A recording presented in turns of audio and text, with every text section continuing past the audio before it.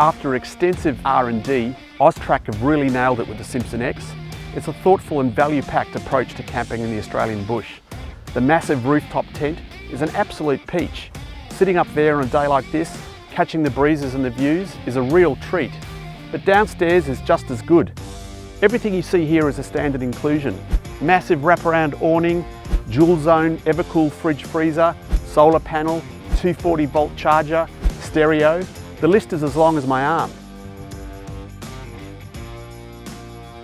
Austrack packed a lot of comfort into the Simpson X, but for an off-road camper, it all starts and ends with grunt. Beneath this good-looking body, there's serious capability. Fully welded, hot-dipped drawbar and chassis, heavy-duty, independent coil spring suspension, dual shocks, basically everything you need to position yourself way off the beaten track. Up here, there's a definite king of the castle feel. It's like you're in a crow's nest, exploring the far horizons. Aside from sleeping, it's perfect for chilling with a book or just simply chilling. But let's hear what our four judges made of it. There was a buzz about the campsite around the Austrack Simpson X. Did you feel the vibe there? I feel that vibe, absolutely. I love that chuck wagon sort of style of affair, that lighter, compact, rugged, easy in the bush type thing. If I was in the market for a camper trailer at the moment, that would be certainly one of the highest on my bucket list to look at.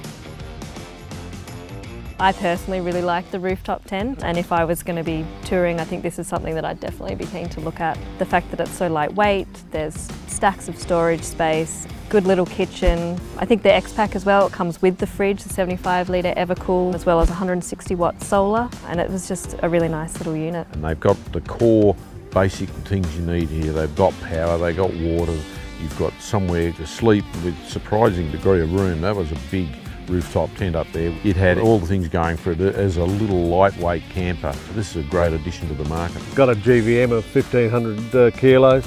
Everything could tow it basically and yeah. I'd take that up into the mountains in some of the roughest tracks around. You'd get a fair time off the grid as well, you yeah, 100 litre water tank and one 9 kilogram gas bottle and that sort of stuff. So yeah, for a couple of people, you'd live well. As soon as your tent was out, you could add the walls around there and suddenly this becomes a perfectly good little space for a couple of kids or as just a change room so you don't have to be getting changed in a more awkward horizontal position upstairs in the rooftop tent. You can be standing up down there and there's a, a lot of practicalities about this camper.